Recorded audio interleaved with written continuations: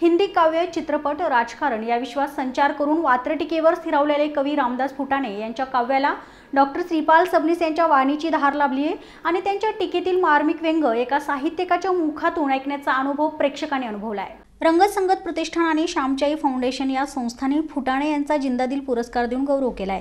नाट्य संमेलन अध्यक्ष कीर्ती शिलेदार यांच्या हस्ते हा पुरस्कार त्यांना देण्यात आलाय. डॉक्टर सबनीस भारत देसडला प्रमोद आडकर डॉक्टर शिरीष गांधी यावेळी उपस्थित होते.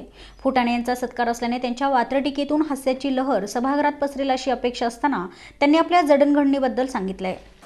आपली मित्रमंडळीची संख्याच इतकी की दीड वर्ष झालं माझे ते अमृत महोत्सव चालू आहे. अजून डिसेंबर पर्यंत आहे चंद्रपूरला आहे डिसेंबरमध्ये मला असं वाटतं की आता जन्मतारीख अजून एक दोन वर्षांनी बदलली आणखी दोन वर्षालाच काम चालू आहे त्या ठिकाणी. तशाही माझ्या जन्मतारखा दोन आहेत. शाळेतली एक सहा बेचाळीस आहे. आणि सर्टिफिकेटवरची आणि चौदा एप्रिल खरी तशी. रामनवमीचा दिवस. महापुरुषांच्या तारखेत नेहमी वाद असतात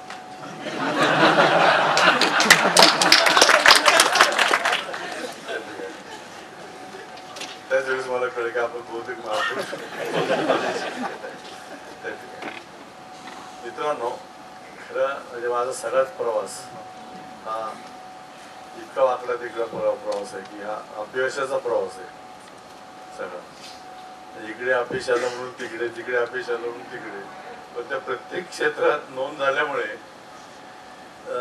लोकांच्या मी लक्षात राहील. आणि त्याचं महत्वाचं कारण काय असेल तर वाचन. मी अगदी बारा वर्षाचा असल्यापासून आचार्य अत्रे यांचा नवयुग वाचत होतो.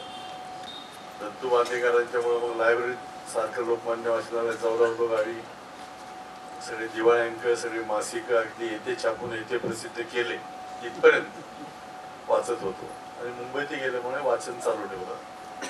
आणि त्यामुळे संस्कार घडे गेले सगळे. दुसरं मी या दृष्टीने भाग्यवान आहे की मला फार लोकांना बघता ऐकतात मी ज्या चाळीत राहत होतो मुंबईला तिथं सगळे गुजराती होते. मी ज्या शाळेत नोकरी करत होतो तिथे सगळे विद्यार्थी मारवाडी होते. आणि शिक्षक युपी आणि एम पीचे शिक्षक होते सगळे. त्यामुळे इतक्या वेगवेगळ्या लोकांना भेटणं ऐकणं त्यातून माझे ते हिंदी कविता आणि हिंदी कवी संमेलन सुरू झाली.